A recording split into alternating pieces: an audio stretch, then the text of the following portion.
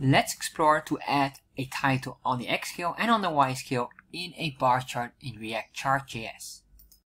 To add a title to our scale, what we have to do is we have to work in this specific area, in the options object, and then we have to go here into the scales, and then in here we can pinpoint the X and Y scale. And what we want to say here, for the X scale, we want to add up a title, and then we'll say here display will be equal to true. So it will be activated. And then we have to specify the text.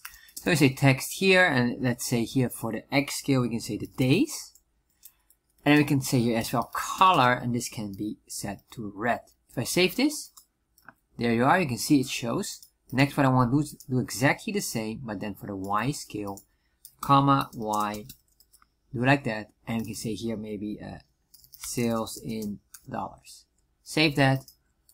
And you can see here it has both on the X and Y scale a title.